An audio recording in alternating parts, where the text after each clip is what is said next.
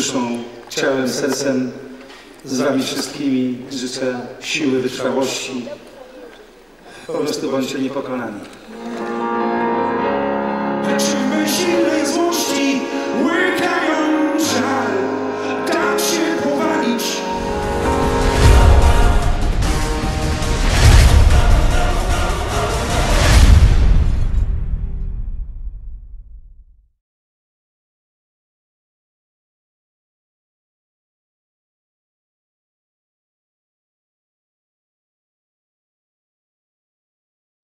Trudno mi wierzyć, że pan nie spotkał się z pracą prokuratora. Ponieważ ja to znam z autopsji, podobnie jak Andrzej i, i, i nasze środowisko. No, ta kreacja jest jeden do jednego. Czy to tylko jest naprawdę wyobraźnia, czy podglądanie też rzeczywistości, która się dzieje?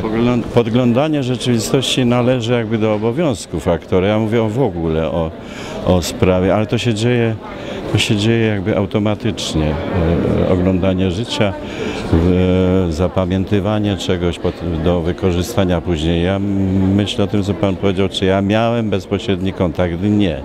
Najbardziej nieprzyjemnym kontaktem z wymiarem sprawiedliwości to był mój rozwód sprzed y, dwudziestu paru lat i trudno mi powiedzieć, no było to tak nieprzyjemne, że staram się to wytrzeć z pamięci. Natomiast to, co mm, e, tutaj e, opowiedziano w tym filmie, Dopiero dzięki działalności panów się dowiedziałem, że takie rzeczy nie są wypadkami, które się zdarzyły raz na jakiś czas, że to ma dosyć szeroki zasięg i, i tym bardziej ten film, jeżeli jest wiarygodny, e, no, ma ważną rolę do odegrania. Ja widzę jako taki palec wskazujący, tak nie wolno. My wam to mówimy, a wy róbcie zawodowcy z tym jak najlepiej. Tak sobie pomyślałem. że ja jest to zawsze trudne dla człowieka, który był po drugiej stronie, e, który przeżył mitręgę walki z urzędami, z prokuraturą, niestety często też z sądami. Jest trudne zadawać pytania artyście, gdyż w, tej, w tym zakresie jestem, można powiedzieć, parweniuszem. E, Natomiast czy jest jakiś sposób odczuwania tożsamości z problemem poruszanym w filmie. Przez człowieka, który wykonuje zawód jest, no trzeba mieć tego rodzaju wrażliwość, która się prawie utożsamia.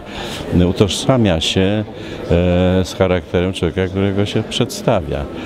A trzeba się znaleźć po tej stronie zła w jakikolwiek sposób, najczęściej udając się za wskazaniami wyobraźni. E, No ale e,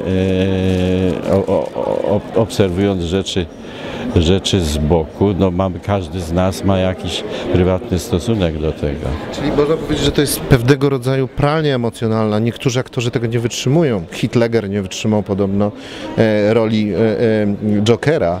Czy, czy to, to, to, to pozostaje w emocjach, w, w jeżeli mamy mówić zupełnie szczerze, to, to oczywiście ja nie mogę mówić za innych. E, Gdyby wszystko pozostawało, co się gra przez kilkadziesiąt lat, to albo musielibyśmy się leczyć bardzo poważnie, albo popełniać jakieś straszne rzeczy z samobójstwem włącznie.